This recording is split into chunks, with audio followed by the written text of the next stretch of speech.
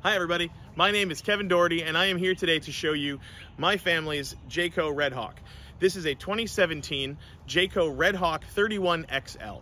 It's built on the Ford E450 chassis and it is a 32 foot long bunkhouse floor plan camper. The bunkhouse floor plan is one of the hardest floor plans to find out there on the used market. Uh, we were very lucky to find this one in our area. Uh, you sometimes have to drive really far to find these. So if you're in the market for a family RV, this is exactly the unit for you. Let me show you around a little bit.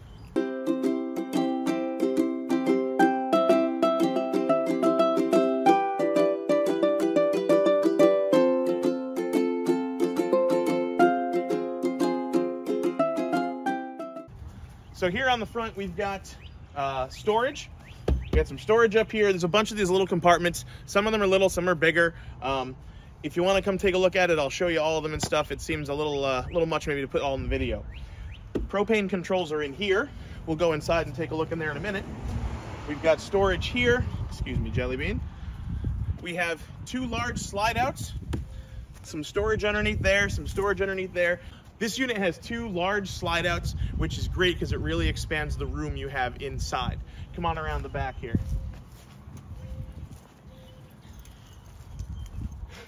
Okay, uh, we had a spare tire attached there. Now it's just an empty room. We're probably not gonna burden anybody with that. If you buy it, we're gonna take that off. It's got a ladder to go up to the roof so you can do maintenance and stuff.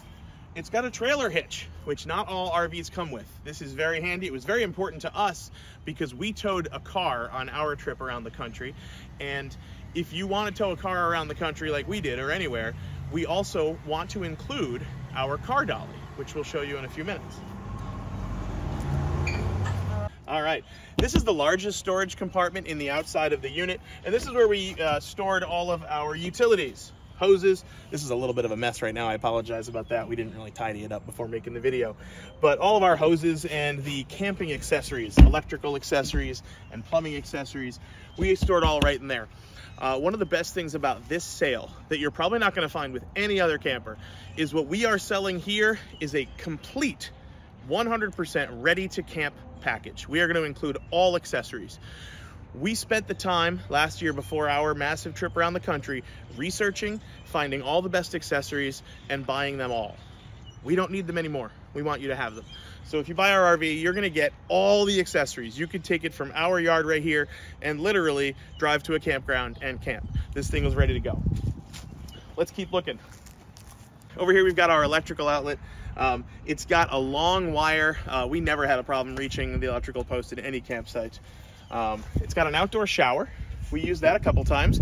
Easy to use as long as you're hooked up to the city water or you've got water in your freshwater tank, you can use that. Uh, here's the other large slide out. This is the living room slide out. Gives you a lot more space. Some more storage down in here. There's a house battery.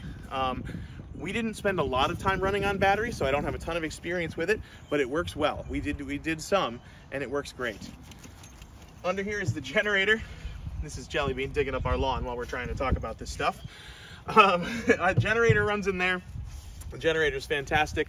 Uh, I don't remember the number of hours on it, but it works excellently. We used it all summer long while we were driving to have uh, AC while we were driving. We used it uh, at a couple campsites that didn't have electricity. Fantastic. Um, we put two brand new front tires on this.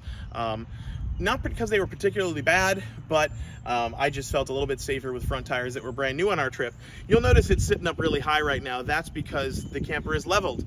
This camper comes with automatic hydraulic leveling jacks, and that is worth its weight in gold. The fact that when you get to your campsite, all you have to do is push a button and it levels itself right out, oh my goodness, amazing. The time saved, the energy saved at the end of a long day of driving when you just don't want to be cranking leveling jacks this thing is incredible. So you're gonna love that, I promise. Uh, right inside the camper here, we've got a couple important things. Number one, this is where the controls to the leveling jacks are. You literally just hit the power button and hit auto level, and in usually within about a minute, camper's ready to go, all level. Uh, we've also got controls here for the awning. I'm not gonna do that now necessarily, but we've got a power awning. Michelle's gonna bring the camera out and show you in a second. The awning is up here. It's about, I think, probably 10 feet wide, maybe maybe eight, I'm not sure exactly. And it comes out probably 10 feet or so, but really, really handy on a nice hot day to just set up your lawn chair out here.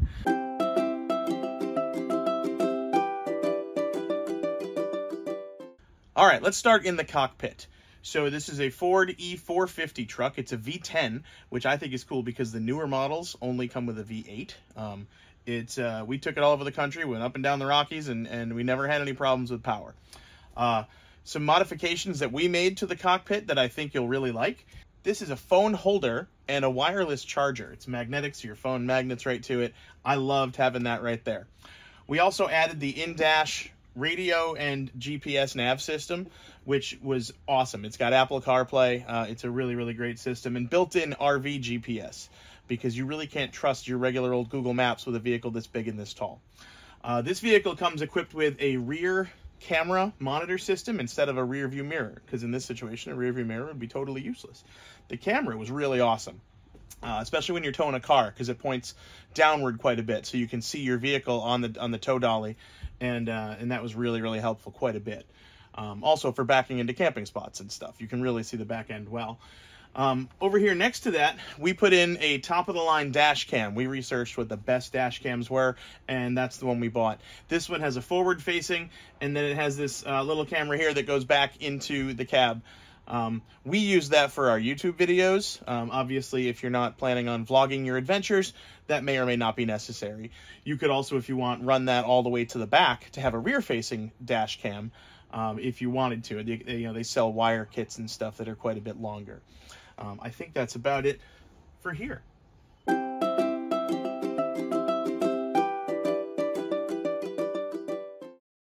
Welcome to the inside of our RV. When you come into the RV, we're here in the living room slash dining room slash kitchen. Uh, most Class Cs are kind of built the exact same way. Uh, up front, we have the over cab bunk, which has this flipping part of the mattress, so you can sleep on a full queen size bed. We do have a mattress topper to make it a little more comfortable, but it's really pretty good as is. This is pretty handy to get uh, out of the way so you can climb down in and out of the cockpit. The TV's up here on a motorized mount. That's pretty handy. I believe it's a 32 inch, if I remember correctly. Uh, we bought a few HDMI cables for it that run up into this cabinet up here, and uh, we'll include those with the sale. We also uh, purchased an aftermarket ladder. This unit came without ladders for the bunks, and we found that to be kind of a pain to get up in and out of the bed. So we purchased a ladder, cut to length and had the right angle, and it mounts right to these two.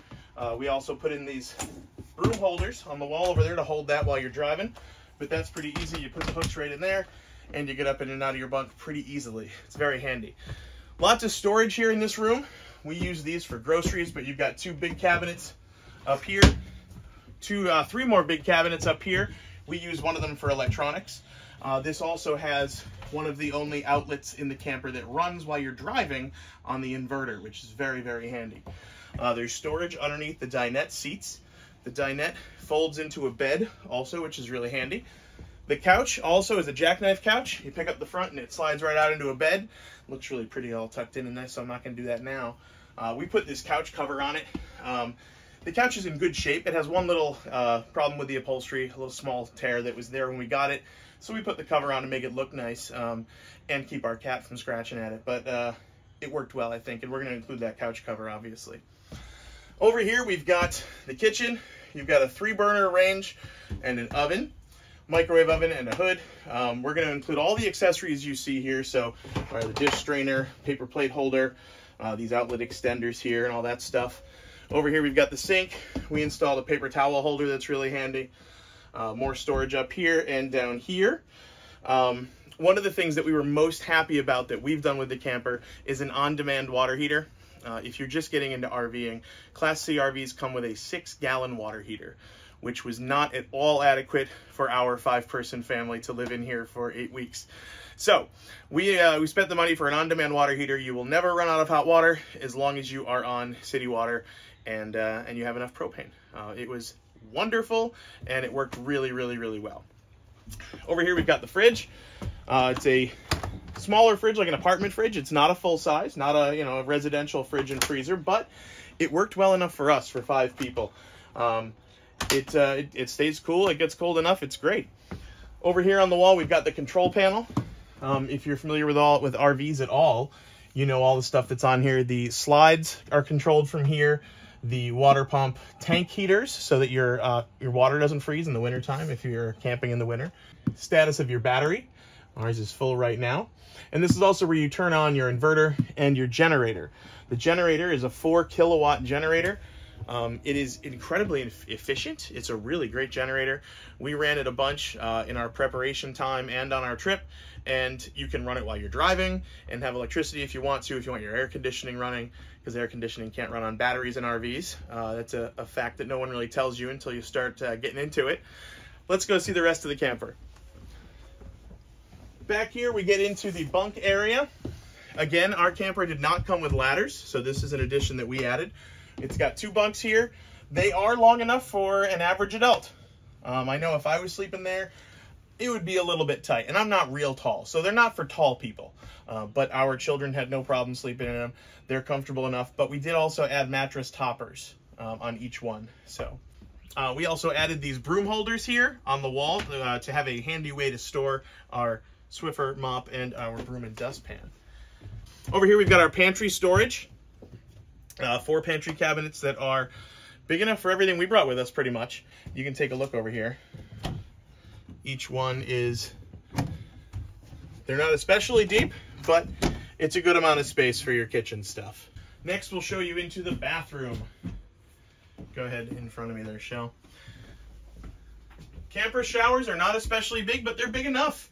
I'm a pretty big dude, as you can see, and I had no problem showering in there all summer we added the shower mirror and the soap and conditioner and body wash dispensers. We liked those a lot. We also added a cup holder on the wall over here by the mirror and an outlet extender. And maybe most importantly, we put a child lock on the mirror because this thing flies open when you're driving if you don't. I'm not sure that the people that design RVs really thought about that, but it happened the first day, and so we immediately bought one of those. It's on with 3M strips, so it'll come off easily if you decide you don't like that everything we stuck to walls, all those things in the shower and stuff, they're all added with 3M strips, so they should come off easily if you decide you don't want them. We're also going to include this little over-the-door hanger. That's a pretty handy tool for all your shower stuff. Let's close that door. And then we head back into the master bedroom. This mattress was brand new when, when they sold it to us. We bought this uh, this from a dealer, and there was a brand new mattress in an original package there. Uh, so this mattress has only been slept on uh, for one trip, our, our, summer trip last summer. We added a fairly expensive and uh, I think a thick, like a two inch mattress topper to it, and it's really comfortable. We slept there without any problem. You've got storage above the bed, four big cabinets, and then over here, you've got all the storage for all the clothes. This one actually has an outlet in it and antenna or cable TV line. So if you get cable at the campsite, you can run it in there so that you can put a TV in here if you want. That is also the only other outlet that runs on the inverter. So if you are on battery power, you have this outlet here and the one on the TV up front. The other outlets do not. Apparently that's normal in campers, but nobody told us that. I had to learn that on my own. So this is all storage, of course, and then a large wardrobe storage. So between all the storage, our family had no problem getting our clothes and all of our gear in here. We actually had plenty of room uh, to live out of this thing for two months last summer. Under the bed is also a large storage area. Um, it's, you know, it's a little heavy to pick the bed up, but it's totally doable. And it's got like a prop like you do on the hood of your car to hold it up so you can access that storage. There's outlets on both sides by the nightstands, and that's pretty handy. There is a vent here above the bed uh, to help draw hot air out in the summer, uh, get some airflow through, and I think that's about it for right now.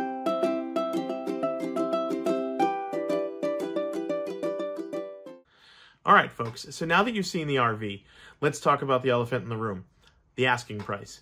We are asking well over book value. We are aware of that. The reason we're doing so is because we have a great package deal.